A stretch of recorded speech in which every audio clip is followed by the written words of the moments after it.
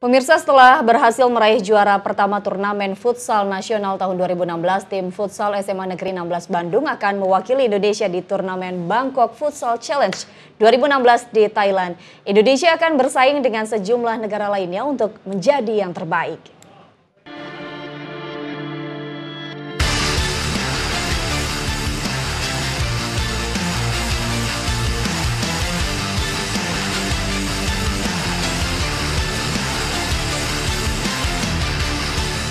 Tim futsal SMA Negeri 16 Bandung akan mewakili Indonesia di turnamen Bangkok Futsal Challenge di Bangkok, Thailand.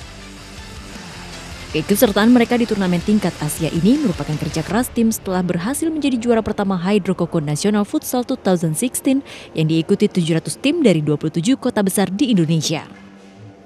Ya, jadi di sana kita akan ikuti uh, turnamen Bangkok Futsal Challenge 2016 dan kali ini SMA 16 Bandung mewakili SMA Indonesia untuk uh, bertanding di sana.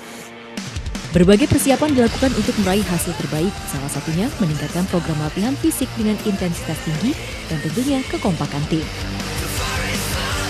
Kalau kita berangkat ke Thailand jelas kita butuh persiapan yang lebih matang daripada sebelum-sebelumnya jadi intensitas latihan kita tingkatin, juga chemistry juga kita tingkatin. Mudah-mudahan kita bisa ngasih yang terbaik nanti di Thailand.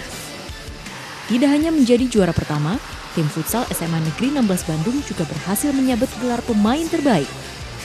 Uh, rasanya ya senang banget pasti uh, seluruh Indonesia saya yang terbaik ya senang banget.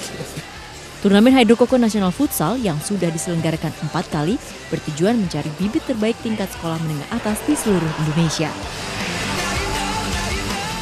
Dari Jakarta, Adina Rati, Paulus Mezak, MNC Media memberitakan.